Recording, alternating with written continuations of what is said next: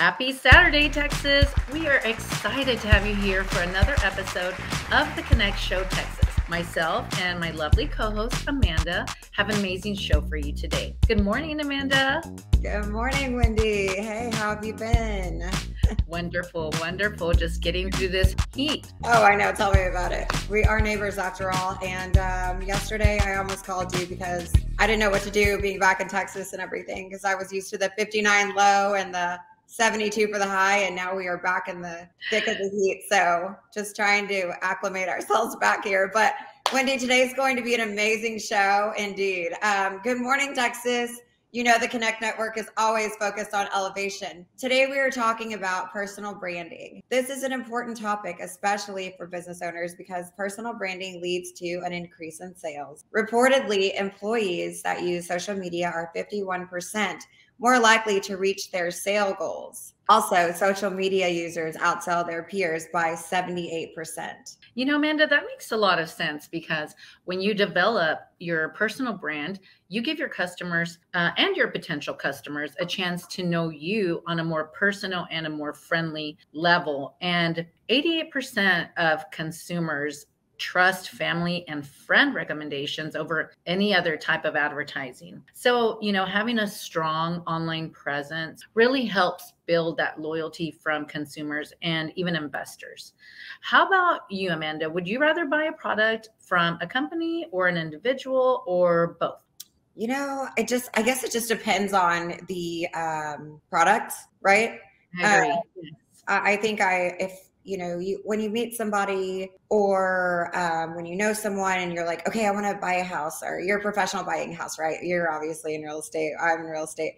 And we know how that works. You want to trust that person that you are uh, wanting to buy from right? So you know the austin area the san antonio area the texas area. You clearly aren't going to call somebody in another state to buy something right? So um, you're going to want to call someone. You depend on somebody that you know is going to be there for you. So um, that's the type of thing that i would want uh, personal personally. However, if I was going to do plumbing and um, or something like that, I would obviously kind of I would check out the social media. immediately first though, I would definitely be like, oh my gosh, I remember that song, um, that commercial jingle. I'm gonna call them because it's stuck in my head. So there's a lot of different things, I guess. Um, it depends on what it is that I need. Um, but yeah, I, am with you on that. It's it's kind of like a 50-50 depending on what I needed um, kind of thing, right? No, I agree with you 100%, Amanda. I definitely believe it depends on the product or the service, whether you do personal, of course, you know, being business owners ourselves, we always want to support new entrepreneurs. And I mean, that's what we do here at the Connect online. So, um, yeah, I, I think uh, you could go either way. Um, and, you know, speaking of personal branding, it's an excellent way to promote our business or your business. But I do wonder if it can also cause confusion at times. Yeah. Like, where does my brand end and my personal life begin?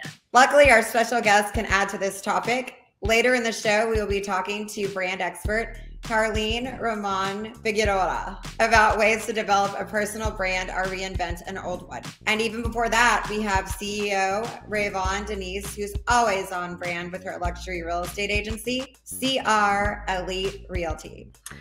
Yes, Amanda, but first, let's get into some steamy hot topics. Talking about brand reinvention, have you noticed any different with Twitter? Um, because Elon Musk, who took over Twitter about a year ago, has recently changed the name from Twitter, you know, with the cute little bird logo, to X, and it's a large X logo. Um, if you've been keeping up with that, Amanda, or have seen, you know, any reports or read on it, what are you thinking about this? You know, it's so funny. I feel like whether you are on social media or not, or on the internet or whatever it is, it always gets thrown somewhere in the mix. And it kind of, you know, you kind of look at it and you're kind of like, okay. And, you know, I'll ask my husband questions about it. But I'm not too too deep in that. However, I did see a story, um, a headliner, I guess you should say, where they were going to be in the ring together. Oh wow! so I, there's been all all different kinds of things, and I saw that and I was like, what? I well, you yeah, well, you know, the tech giant has uh, been making many changes um, since he took over, such as the blue check, you know, the blue verified check, which I'm sure you're very familiar because you are um, blue check verified. And it, upset uh, many social influencers and celebrities who worked hard to earn that. So, most recently, he has also made a very bold statement offering to cover legal fees of people whose employers um, penalize them for something they tweeted out or liked in the app formerly known as Twitter. Um, and he has not really specified how he's going to put all this into plan and excuse me how he's going to put all this into place or what his plan of action is um, nor you know a system for people to contact him about but man he's got a lot of uh, a lot of in the works right I feel like it's almost hard to keep up with. I mean, how do you keep up with these people? You know, there's yes, they're always like one so up each other on these levels of. I don't even know the capacity of of one's brain to think of the levels of their uh, what do you call this conflict or um let's go in the ring i mean um i saw something about being in the backyard or something you know i i don't know but now I want to talk about another technology that may be affecting more women than men. Artificial intelligence has already replaced 4,000 jobs in May, which comes as no surprise to most. A new report by the McKinsey Global Institute show this can disappropriately affect women as female dominated jobs such as office support, customer, and food service seem to be the easiest to replace, leaving women more at risk for AI takeover. What do you ladies think of this? You know, I I always try to see the positive side of everything and try to think, okay, instead, let's not see this as an obstacle, but as a solution. Um, if this is going to close the doors, you know, and, you know, obviously it's taking over so many jobs, um, I always feel like there, you know, people are going to think of a new door to open with this happening. So I can see these women going in and just figuring out a way to work with AI or, you know, just a way to create new jobs. What about you? What are your thoughts? You know, I, I feel like every, once again, every year there's a, a new technology. I, well, I don't even think it takes a year anymore. I think it's like every 15 minutes. But um, there's there's always going to be something that's trying to replace something, uh, whether it's robots taking over real estate and and you know there, there's always i feel like there's always going to need to be a human touch. And maybe that's like an old school way of thinking about it but for me i don't know if you're like this too um when we have someone text message us and and then we have when when you read the text message you don't read their their tone right? So then when you reply you reply and you're like oh you read it later and you're like did i really say it that way? Um you know things like that. So i feel like so many things can get just thrown under under the radar with robot technology or with a fake person giving me um food which by the way there's a Whataburger digital restaurant and i am a Whataburger fan. Like do not give me in and out like i don't want to hear about in and out burger. I am a Whataburger born and raised fan and i want to go there and try that digital restaurant have you well, seen hey, Amanda? If you're a big Whataburger fan, Whataburger fan, you know they're hiring, so that would be fun to see you in there, and we can get you on the and see how it's a digital kitchen. So I'm curious. It's down the street from both of our homes, so I'm that's really interested. Yeah, to see how all that's gonna work. But for now, don't go anywhere because we are going to take a break. But when we come back, as promised, entrepreneur CEO Rayvon Dennis will be dropping in to catch us up on her new businesses, and some helpful real estate tip, which is wonderful. So you don't want to miss this. We'll be right back.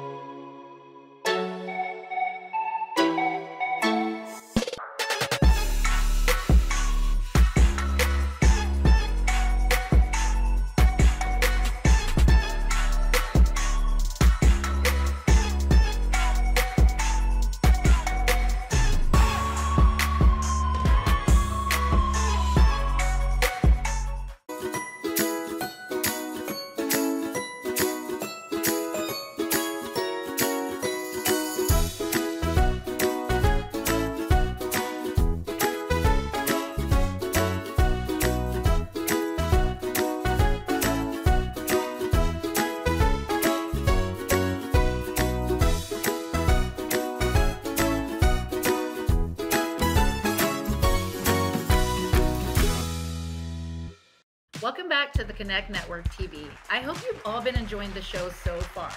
We have been discussing personal branding and ways it can benefit your business. Right now, we have lady entrepreneur and CEO of CR Realty. Welcome back, Rayvon Denise.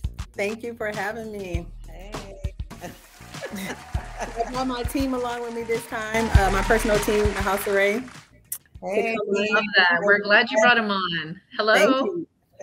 Looking great, guys. So we are so excited to have you guys back. Give us an update. What have you been up to since your last visit at the Connect Show, Texas? Oh, I've been up to a lot. So, unfortunately, I was diagnosed with a brain tumor, and uh, the doctors went in and got it all out. So, I am back as a new person, refreshed. I feel better than I felt in the last 10 years. Won't God do it? And I am ready to go. We are actually, uh, having a relaunch and it's going to be Ray and Jay, which is my business partner, takes Houston. Wow. Wow. I love that. That's exciting. And Rayvon, uh, you're in our prayers uh, continued prayers and look at you coming back and coming back stronger. That is so amazing. Thank so, you. how did you come to the decision to start your own construction company? So, with me, I like all things real estate. One of my clients reached out to me um, a few months ago and they said, I don't know if you realize, but you made me $1.9 million in profit last year. And I'm thinking, if I'm making my own clients $1.9 million in profit, and that's just one just imagine how much I can make if I own the construction company as well as the real estate company. So I teamed up with a my business partner Javier out of uh, California, and he has a multi-million dollar business down there doing commercial and residential. And I said, hey, how about you bring part of your construction company to Texas, so I won't be starting from scratch. We team up and we launch here. Uh, we launched it last month, and it is doing amazing. That's incredible. You are so inspiring in all ways. Earlier today, we were discussing personal branding. Your Houston luxury real estate team, House of Ray, seems very on brand with your company, CR Elite Realty. Did your personal brand come into play when considering new business ventures? The CR Elite Realty team is the actual brokerage where we have about 100 agents. And then we have my personal team, which is these two along with another person. And she, uh, Angel, this side, is very into uh, personal branding and video and allowing people to see who we are. So with her guidance, um, we we hired two videographers, some photographers, and we've really made a difference since we launched um, the House of Ray team. Now, what I love to do is keep everything on the same level. I don't want one of my businesses um, to not be branded as good as the other. I want you guys to look at me overall and say that brand is good.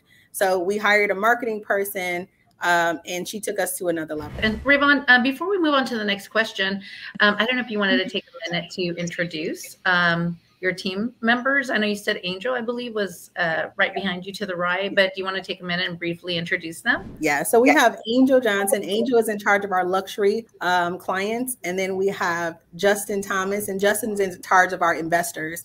We also have Michelle, which is able to be here today, and she is our Spanish speaking agent um, that helps anyone that speaks um, Spanish. And of course, we have a bunch of behind the scenes people like our marketing and, and videographer and everybody. Nice. So, as a female CEO in the industry, what are some challenges that you face, Rayvon? I think the the biggest challenge I face is has been more in the construction side of it, um, because they don't expect a woman to be um, the owner or CEO of a construction company right? So when I walk into rooms, I have to walk in a little bit tougher, and I don't think that we should have to, right? We should be able to walk in as ourselves. Now, obviously, women knows how know how to adjust to whatever room we need to be in because we are taking over nowadays, right?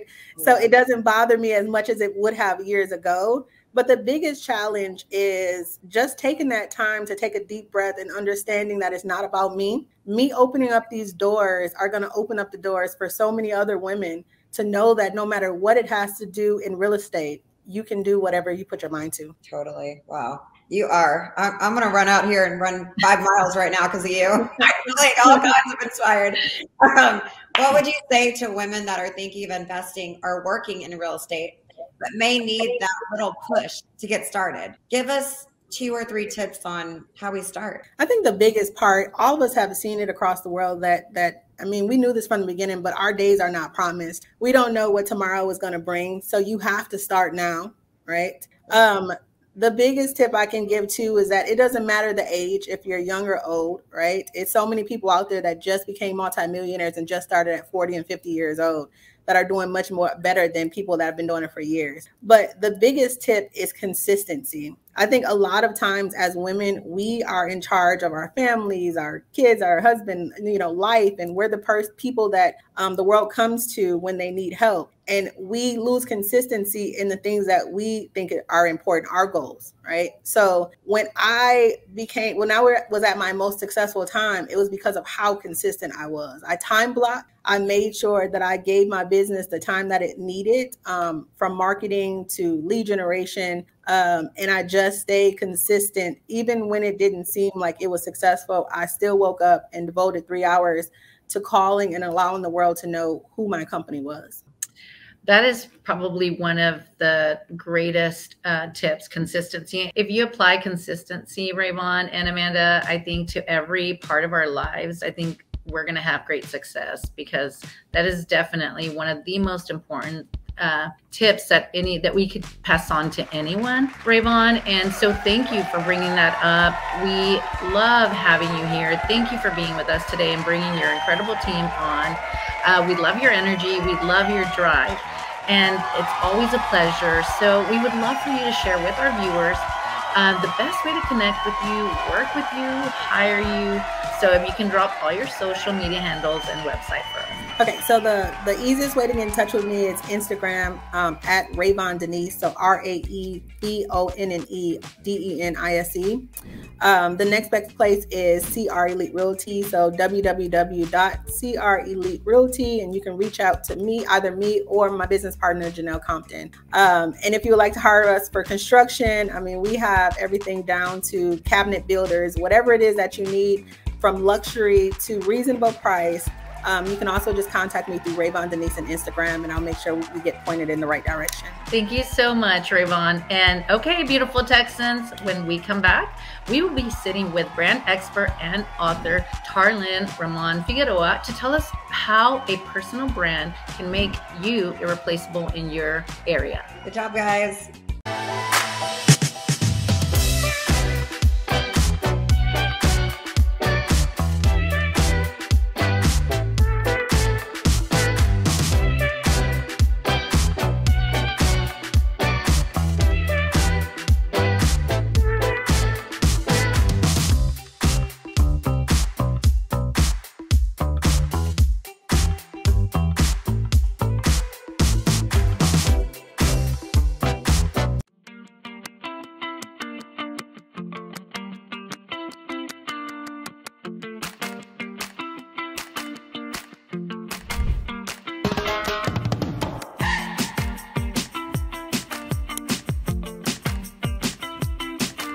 Welcome back to the Connect Show, Texas. If you're just tuning in so far, we have been discussing personal branding and how it can benefit you. Joining us right now is former diplomat turned CEO, brand expert, author Tarlyn Ramon Figueroa. Hey, Tarlyn, welcome to our show. Hey, what's up, Texas? I love that. Colin, the fact that you once worked as a diplomat for the UK is it's fascinating. How was the transition from that to now being a brand expert here in the US? Absolutely. So clearly, judging by my accent, I'm not from here. So I'm from London in the UK, and um, I was a diplomatic consultant and actually had my own business where I I helped individuals become diplomats for their own country, cause, mission. So helping activists and helping individuals who wanted to move into government. You know, a lot of the times it's kind of like there's a big barrier between you and them. My job was to break through that ice and really get to the core of why they why they wanted to represent their country and what value are they actually bringing to normal people like ordinary citizens.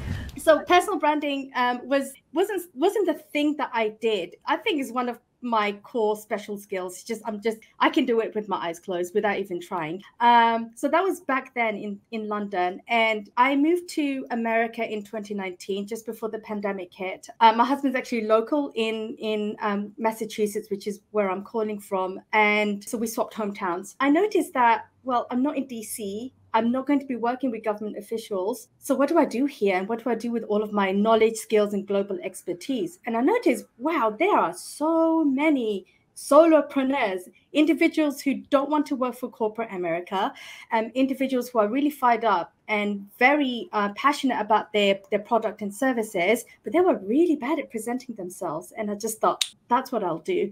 The brand consultant of Boss Diplomat. Wow, that's incredible. So, how has your background as a diplomat helped when it comes to public relations and branding? Well, think about it. You're talking to someone who has a lot of prestige, title, status, money, whatever. It's so easy to talk to people when you're talking at someone at that level. What I do is I connect with people on an individual level. So I always find out what the core of why they started anything. Um, why are you a diplomat? Why are you an entrepreneur? What got you started in that journey? Let's go all the way back. Let's rewind because a lot of people forget when they're really successful in their career why they started what they did. When that happens, you get blinded by money, blinded by fame, blinded by whatever society's throwing at you. So when you kind of remind them of why did you why are you doing what you're doing right now? it triggers a lot of emotions for them. It triggers a lot of suppressed memories that they haven't thought about in a really long time. And for me as a brand consultant that's the aha moment. Ah that's making you emotional i'm going to use that to your advantage and help you connect to your target audience if that aha moment is not there i i look for that and i turn that into their brand story and I help them figure out who is your target audience. And your target audience isn't everyone. My analogy is um, this is what everyone's target audience looks like.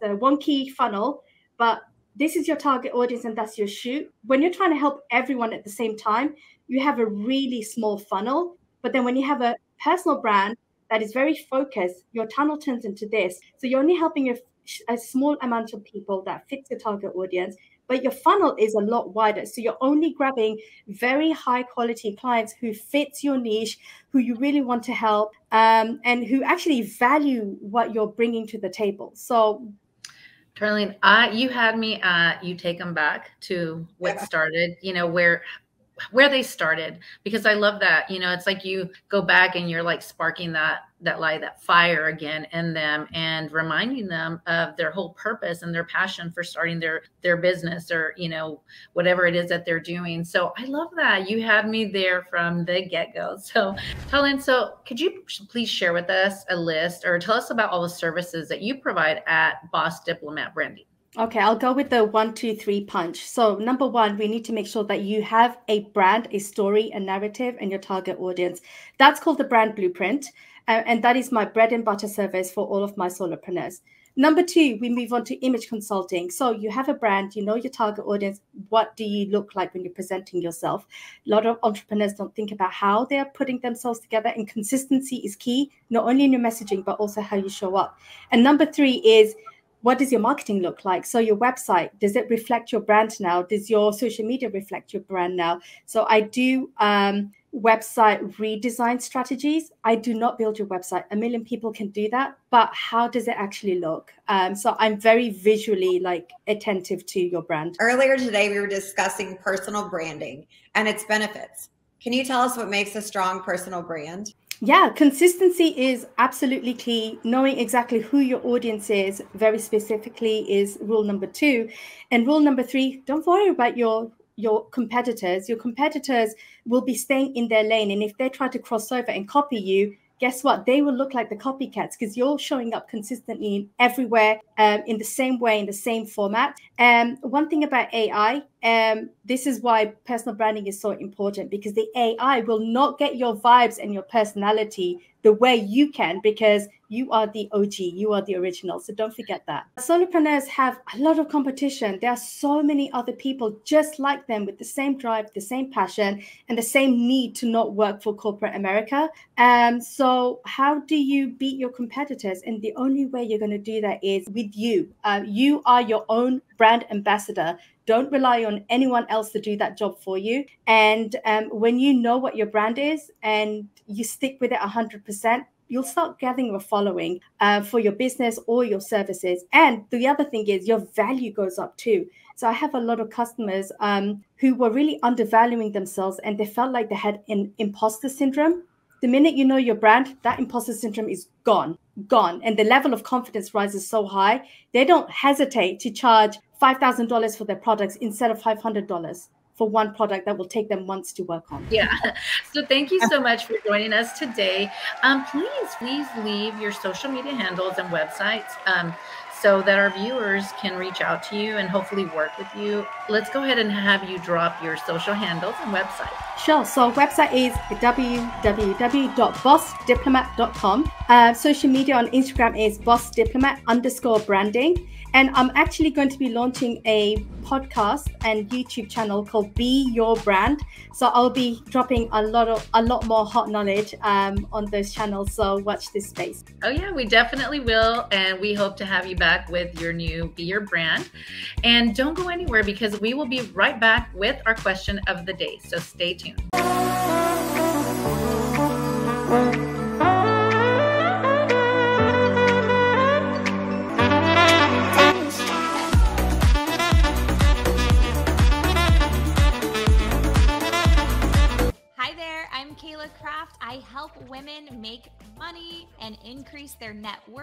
You can find me at mommymillionaire.co and you can watch me on the Connect Network TV. Make sure to tune in.